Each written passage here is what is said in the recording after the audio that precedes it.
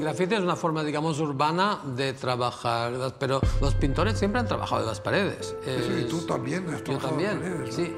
Y, y en un cierto momento pensé que para hacerme independiente de la pared, la pintura era la pared.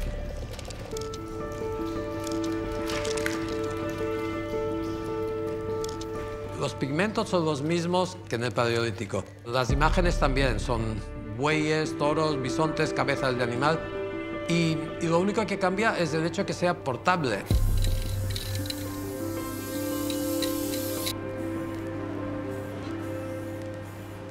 se da una circunstancia que es única y es que en un momento determinado nos volvimos conscientes.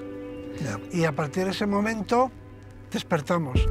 En el arte urbano y en el graffiti es, es una innovación, aunque es algo que se ha hecho durante toda la historia del arte, desde los griegos hasta hoy en día, pintar en una pared o grabar en una pared, la intención del arte urbano y del graffiti es muy diferente.